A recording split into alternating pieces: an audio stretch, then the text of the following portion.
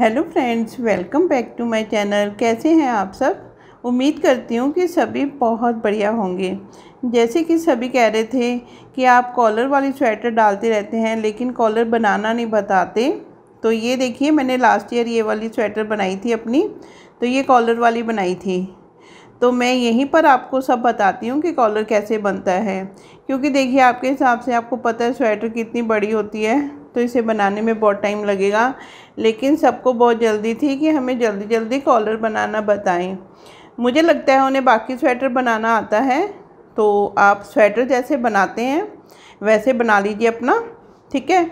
तो इसमें आप, मैं, जैसे मैंने ये डिज़ाइन डाला हुआ है तो आप कोई भी डिज़ाइन डाल सकते हैं, जो कि मैं आपको वीडियो में दिखाती रहती हूँ। उनमें से कोई भी डिज़ाइन सेलेक्ट करके वो आप बना सकते हैं।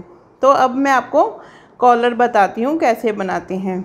ये देखिए, ये जो मैंने कॉलर बनाया है, इसकी देखिए इतनी लंबाई है। ठीक है, अब हमने क्या करना है, जब हम स्वेटर बना रहे हैं अपना तो जब हम बाजू के हाफ़ में आ जाते हैं।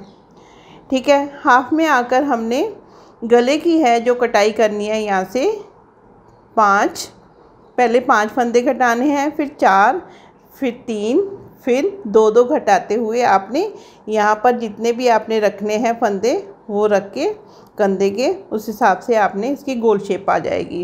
ये देखिए जैसे इधर से भी है। और मैंने यहाँ पर पट्टी के जो है, वो फंदे छोड़े हुए हैं, लेकिन जो मैं वीडियो आपको दिखाती हूँ, उसमें यहाँ से कॉलर है।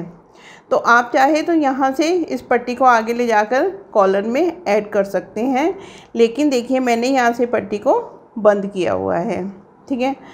अब आप देखिए, फंदे उठाने हैं आपने और बैक साइड से देखिए आपने क्या करना है।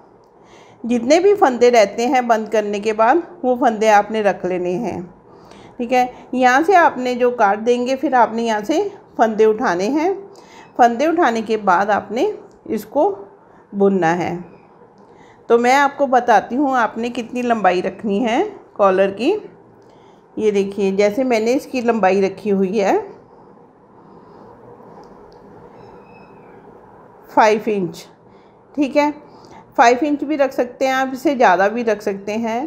तो जैसे ये कॉलर फोल्ड होता है तो फोल्ड होने के बाद आप चाहते हैं आपका कॉलर यहाँ तक आए तो आप ज़्यादा लंबाई रख सकते हैं। अगर आप यहाँ तक कॉलर बुनेंगे तो ये यहाँ तक आ जाएगा। अगर आप चाहते हैं इसकी गोल शेप दें तो जब कॉलर ख़त्म करने वाला होता है तो यहाँ से आप इसकी गोल शेप भी दे सकते हैं। ठीक है, पहले देखिए मैंने कॉलर सिंपल बनाया हुआ है। एक सीधा और एक उल्टा बनाते हुए, ये देखिए। फिर उसके बाद जो स्वेटर में डिज़ाइन होता है, वही हमने यहाँ पर डालना है, ये देखिए। स्वेटर वाला डिज़ाइन यहाँ पर कॉलर पर आता है तो वो बहुत ही अच्छा लगता है। तो ये, फिर इसके बाद ये जब फोल्ड होता है तो यहाँ पर हमारा जो डिज़ाइन है, वो दिखाई देने लग जाता है। तो जो उसकी स्वेटर की लुक है, वो बहुत ही सुंदर आती है। ये देखिए।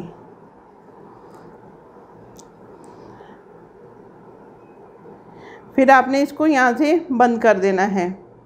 ये देखिए, मैंने बंद किया हुआ है। बस आपका कॉलर तैयार है। ये तो बहुत ही आसान है बनाने में। ये आप बच्चों का भी बना सकते हैं इसी तरह से। अपनी स्वेटर का भी बना सकते हैं। जेंट्स का भी बना सकते हैं। तो उम्मीद करती हूँ कि आपको ज़रूर समझ आ गई होगी।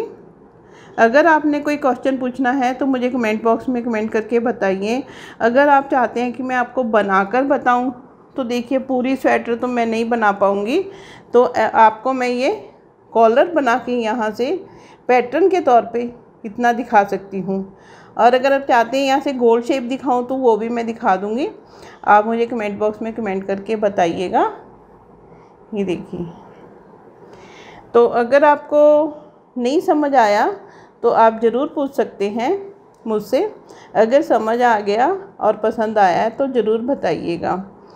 आपको मैं बता देती हूँ यहाँ से मैंने किन, कितने फंदे उठाए हुए हैं, वो भी मैं आपको बता देती हूँ। ये देखिए, one, two, three, four, five, six, seven, eight, nine, ten, eleven, twelve, thirteen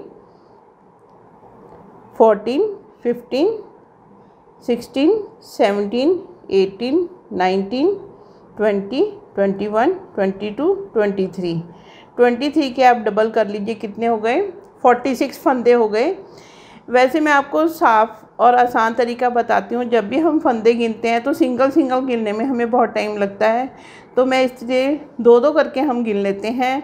तो हम बोलते हैं कि इसके ट्वेंटी थ्री जोड़ हैं।